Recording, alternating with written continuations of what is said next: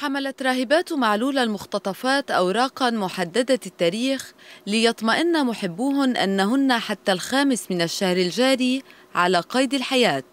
فقد بثت قناة الجزيرة تسجيلا مصورا للراهبات السوريات واللبنانيات المختطفات يقولن فيه إنهن بصحة جيدة ويعاملن معاملة لائقة ولم يتعرضن لإساءة وينتظرن إطلاق سراحهن ليعدن إلى دير مرتقلة.